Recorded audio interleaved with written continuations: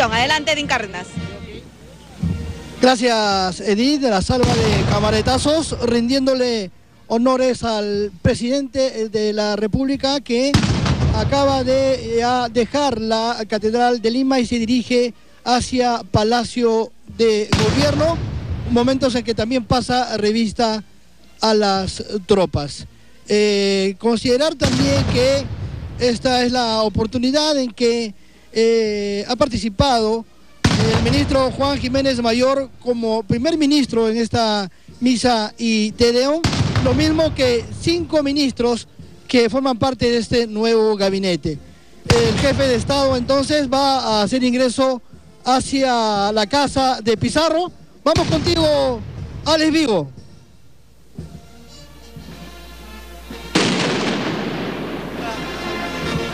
Va a cruzar la puerta principal de Palacio de Gobierno acompañado de la primera dama de la Nación. Antes recibe el la escolta oficial que lo ha acompañado desde que salió de la Catedral de Lima. De esta manera entonces ingresa a Palacio de Gobierno.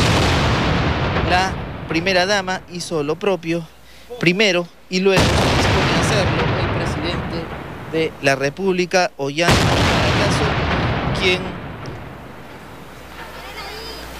Viene acompañado del jefe de la Casa Militar el general Germán González del Ejército Peruano. El presidente de la República entonces se encuentra ya en el patio de honor desplazándose hacia lo que es la puerta principal para ingresar a su despacho y aguardar la llegada de la comisión de anuncio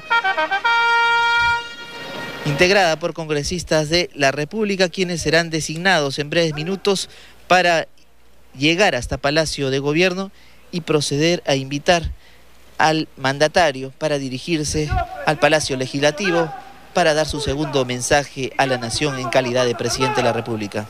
Permiso para continuar con mi servicio.